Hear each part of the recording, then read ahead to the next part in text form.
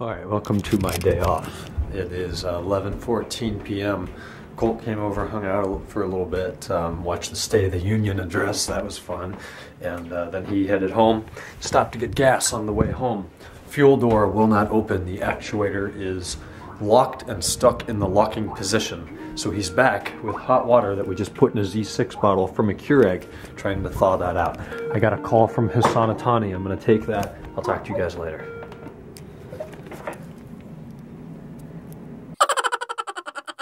All right, so we got a little fl little flustered there. It's uh, 107. I've been talking to Hassan a little bit on uh, FaceTime and Skype. It's nice to catch up with him. Um, if you guys remember when I was in California, I guess it was the June or was that July?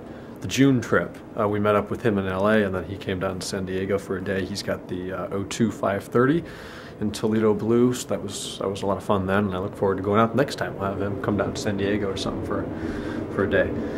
Um, I am warming up the Keurig again. It is negative um, 19 outside. So we had today off of school. Um, tomorrow, technically, Kent is resuming.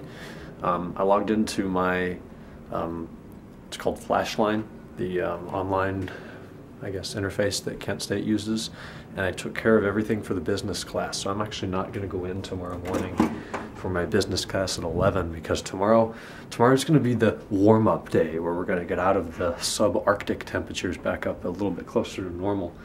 And uh, tomorrow morning at 10 or 11 it's still negative 3 so I don't want to subject myself to that. So I'm not going to go in for that. And then I have a two hour gap after that. So on Wednesdays now so I don't want to do that either so I'm going to go in at 2.15 do my 2.15 to 3.30 since that was canceled on Monday, I definitely need to get in there and catch up. But the business, I'm all set with business until February 7th now, but I'll go in next Tuesday.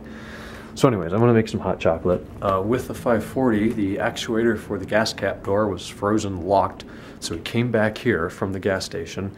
We put hot water from the Keurig in an empty bottle of Z6, sprayed the whole thing with really hot water and some WD-40, which then made it um, loosen up so he could open it. So he got access to that, and then all of the hot water froze. So I hope that worked out for him. Look what it did to this.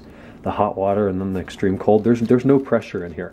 I can take the, the lid off. See if I can do that with one hand, and look at that. It is stuck, bowed in like that. So that's dick. But I have a lot more of those, which is good. Anyways, my battery light's flashing. Hopefully this doesn't die soon.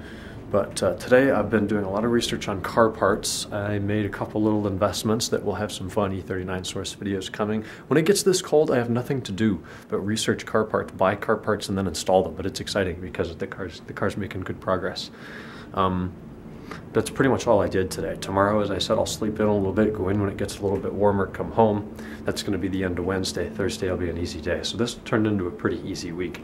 We're even leaving a trickle of hot water running so these pipes don't freeze and the cabinets are staying open because it's so damn cold.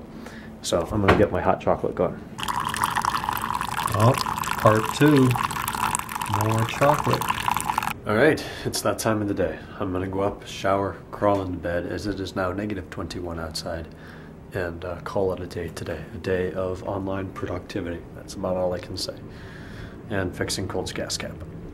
So um, I'll talk to you guys tomorrow when I head into Kent round two something. We'll come back. Um, I have one more assignment due this week on uh, Friday the 31st. It's not even available until I think the 30th at midnight.